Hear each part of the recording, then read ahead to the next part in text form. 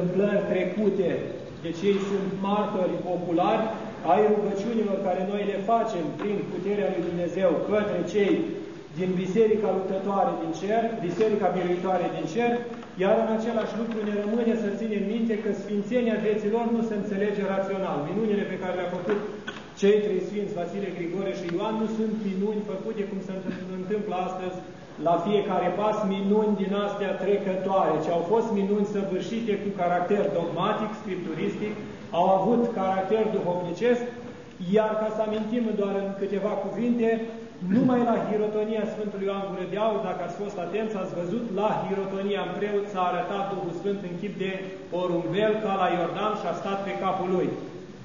Una din marile minuni pe care a făcut-o Sfântul Ioan Gură de Aur, insuflat de puterea Sfântului Apostol Pavel, a fost și tâlcuirea Sfintei Scripturi. Spune ucenicul lui că odată așteptând cineva la ușă pentru o pricină, auzea că Sfântul vorbea cu cineva dinăuntru. Iar în clipa când i-a spus, așteaptă, așteaptă și săvârșindu-se până după ora după amiază, i-a spus, zice, dar zice, trebuia să vină astăzi cineva, n-a venit. Păi zice, a venit și a așteptat și a plecat, deoarece, zice, discutai cu cineva și nu am îndrăznit să te deranjezi, că nu eram cu nimeni.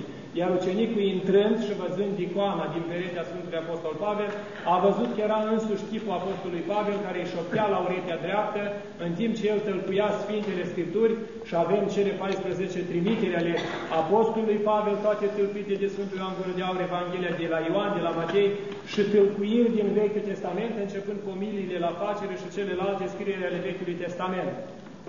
Un alt lucru minunat despre care trebuie să știți la Sfântul Ioan Gură de Aur, însuși venirea la mănăstirea Sfântul Sava, unde și-a făcut o parte din ucenicie prin zona Ierusalimului, a fost prin descoperire dumnezească, iar în vremea ieșirii la propovăduire, deci ca Sfânt, înainte de ca Sfânt, ca om ales de Dumnezeu, a fost înștiințat de însuși Ioan Evanghelistul și Sfântul Apostol Petru, care au venit noaptea în vis și s-au arătat că trebuie să iasă să se expună poporului care trecea prin mari primești.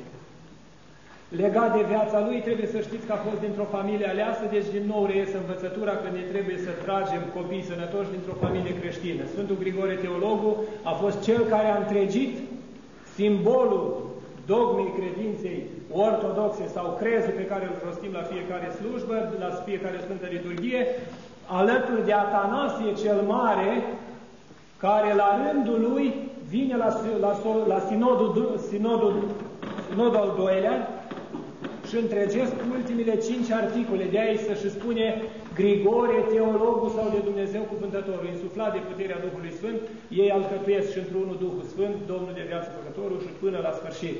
Se retrage, retras, liniștit și cu minte în patria sa, își păstrează ca să spunem într-un cuvânt, viața curată, trăiește aproape 80 de ani, unde ajunge și episcop făcut de chiar de prietenul lui Vasile și hirotonit, deci Vasile cel Mare, iar un lucru care trebuie să vă rămână în minte este și următorul. Prin însuși sfințenia lui, la plecarea din arhipăstoria din scaunul pe care îl avea, deci din Nazian se lasă o singură biserică eretică. Despre ce biserici eretice era vorba? Era vorba despre dogma lui Are, ce despărțea dogma Fiului de dogma Tatălui, ipostasurile. Deci făcea mai mică puterea Fiului față de puterea Tatălui. Și atunci, sigur, că a fost un mare apărător al acestei erezii, care și astăzi poate fi interpretată foarte ușor în învățătura protestantă sau în învățătura sectară, unde Iisus Hristos este o persoană mai puțin însemnată față de puterea Sfintei Trei sau cuvântul care vine ca logos întrupat să restaureze omul căzut în păcat. Sfântul Vasile cel Mare a făcut mult mai multe minuni și care a fost la privegherea de anul nou. Ați văzut cea mai semnificativă minune care este, este încreștinarea evreului Ioasaf, care este făcută după ce Sfântul Vasile moare, deci la 59 de ani se săvârșește din viață, iar în clipa când era pe sfârșit, la sfârșitul vieții, Ioasa vine și aude că Sfântul Vasile e bolnav și atunci Sfântul Vasile se roagă la Dumnezeu și îi mai lungește viața cu o zi să poată să boteze pe Ioasaf, evreu, care se întoarce la creștinism, iar biserica ocupată de arieni, în chip forțat, când spune Sfântul Vasile, n-are rost să ne certăm, zice mai bine să ne rugăm, o zi vă rugați voi, o zi noi.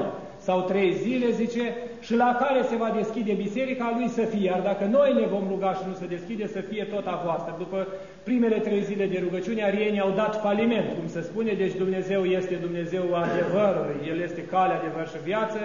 Și în clipa când creștinii, mai puțin la număr, au venit și au început să cânte cântare de birință, Sfinte Dumnezeule, Sfinte tare, iar Sfântul Vasile a lovit cu semnul Sfintei Cruci ca o altă dată Moise toiagul Mare Roșie, porțile s-au deschis, cețele au sărit și s-a auzit glasul cel puternic. Cine este acesta ce Deschideți-vă voi porți veșnice și va intra împăratul slavei. Și tot poporul a cântat insuflat de Duhul Sfânt, Sfinte Dumnezeule, Sfinte tare, Sfinte fără de moarte, miluiește-ne pe noi.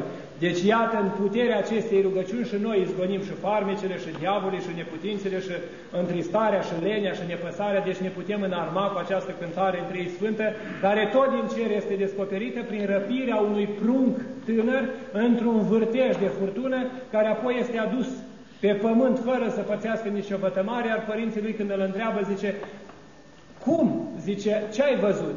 Zice, am văzut îngeri cântând o cântare care n-am auzit-o niciodată. Sfinte Dumnezeule, Sfinte tare, Sfinte fără de moarte, miluiește-ne pe noi. Așa preamăresc îngerii pe Dumnezeu.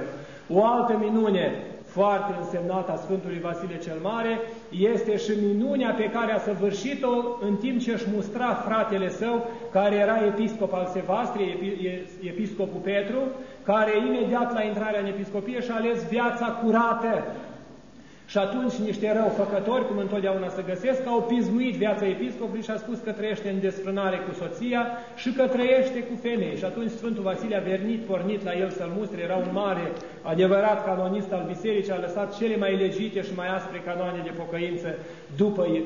Deci Ioan Pusnicu, Ioan Gure de Aur, Sfântul Vasile cel Mare, după aceea a lăsat Sfinții Apostoli și celelalte canoane la sinoadele ecumenice. Dar ajungând la fratele său, acesta l-a văzut cu înverșunare și a zis, O, Vasile, zice, de ce te întristezi? Zice, uite ce mă aud mie urechile.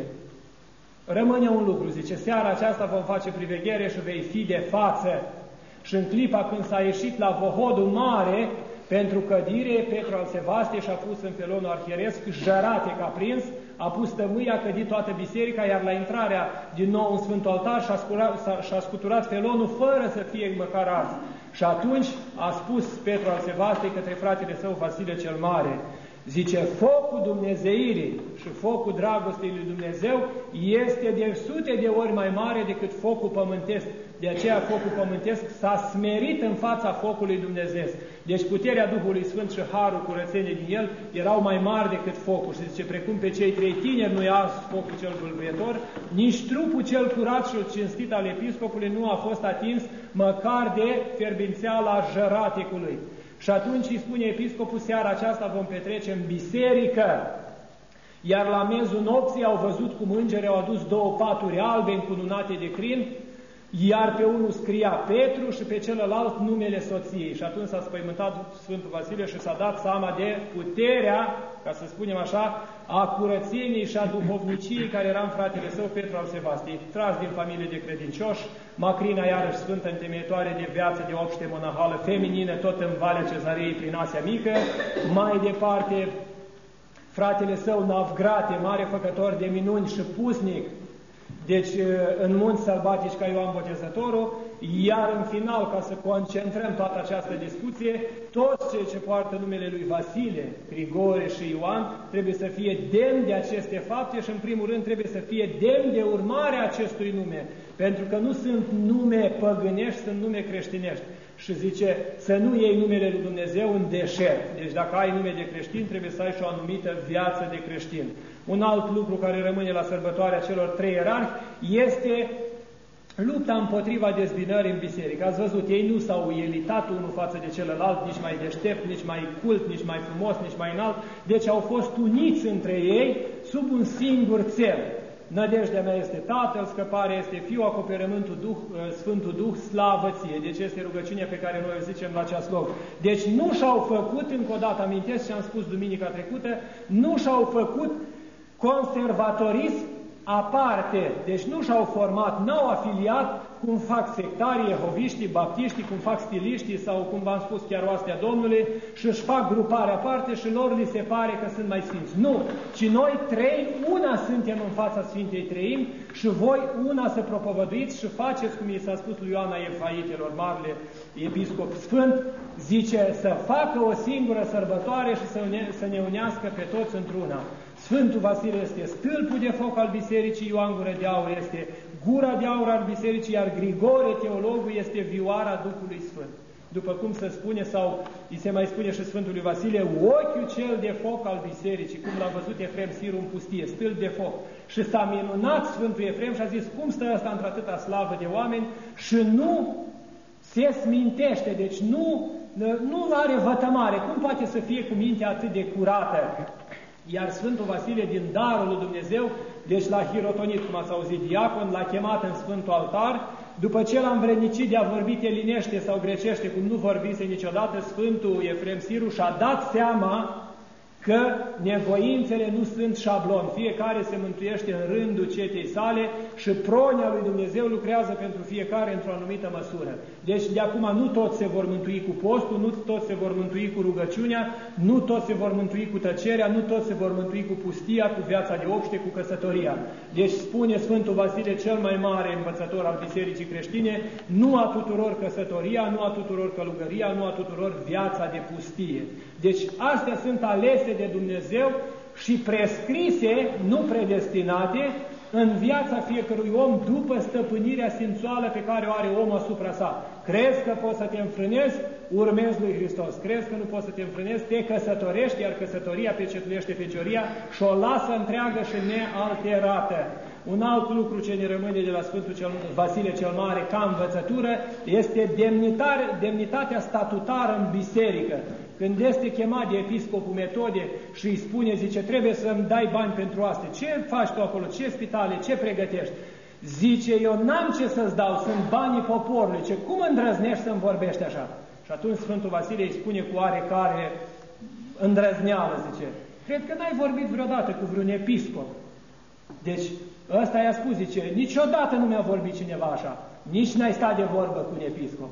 Și drept minune, Iulian Apostatul, care a plecat cu război împotriva perșilor, pentru că n-a dat bani în noastre, a spus, când mă întorc, voi distruge biserica din Cezaria și arhiepiscopia din Cezarea Capadocie. Dar ce s-a întâmplat? Sfântul, intrând în biserică cu poporul la rugăciune, la icoana Sfântului Mercurie, a făcut rugăciune, a văzut cum s-a desprins Sfântul din icoană, a alergat la câmpul de bătaie prin văzduh din puterea Duhului Sfânt și a însulițat pe acel Iulian Apostatul care moare rănit în luptă și strigă cu glas mare, mai învins galileene, nimeni nu vedea minunea care vedea el, că vedea pe Sfântul Mercurie cum vine cu sulița asupra lui. Și apoi s-a întors Sfântul în icoană, iar pe suliță a rămas mărturie până astăzi, sângele, deci astăzi s-a uscat, dar a rămas sângele proaspăt aburind cum a fost înfipt în uh, inima acelui ticălos ce prigonea biserica. Deci biserica, încă într-un cuvânt, ca să spunem așa, nu se păzește nici cu parul, nu se păzește nici cu lozincăria, nu se păzește nici cu articole și cu vorbe spuse de noi sau cu îmbrobodel. Biserica se păzește pe ea însăși cu rugăciunea. Este fecioară curată și neîntinată a Duhului Sfânt, este mireasa lui Dumnezeu, este arma de temut a diavolilor, fiindcă este casa de rugăciune, cum spune la Timotei 2 cu 3, stâlp și temelia adevărului, și ea se apără prin însuși mirele ei. Ea este mucenica pământească și cerul pământesc și raiul pământesc al creștinilor. Deci toate mădularele ei nu sunt altceva decât flori alese în grădina lui Dumnezeu. Deci toți creștinii binecredincioși o împodobesc și o apără nu cu haina lor, nu cu puterea lor financiară, cu nimic, ci cu rugăciunea. Fiecare rugăciune făcută de fiecare credincios curată și din inimă întărește Biserica lui Hristos și o apără în fața dușmanilor. Acest lucru trebuie să-l înțelegeți de fiecare dată acasă când vă rugați. Pentru dumneavoastră, pentru soț, pentru copii, pentru familie, pentru preot, pentru duhovnic, pentru episcopul locului, pentru conducătorul țării și pentru tot ce faceți fiecare. Deci așa se apără biserica. Pentru că biserica nu are nevoie de armă, ea nu-i putere, e și cuvânt. Deci Cuvântul lui Dumnezeu a întărit cerurile și cu Duhul gurii lui toată puterea lor, spune prorocul David în psalm. Iar în încheiere, ca să nu vorbim prea mult, că deja vă plictisiți și scăpați autobuzul, trebuie să înțelegeți lucrul ăsta. Demnitatea celor care respectă biserica este răsplata vieții veșnice și bucuria raiului. Deci nu așteptăm altă bucurie. Biserica nu are lucruri materiale să le împarte. Biserica împarte pâine la săraci, sau împarte rugăciune, sau împarte binecuvântare, sau împarte Sfânta Liturghie și trupul lui Hristos, dar nu are de unde să împărțească odoare, podoabe, daruri și altceva. Cine caută un Dumnezeu al materiei să se ducă să-L caute în însăși materie. Hristos a spus, eu sunt adevărul, calea și viața. Amin. Amin.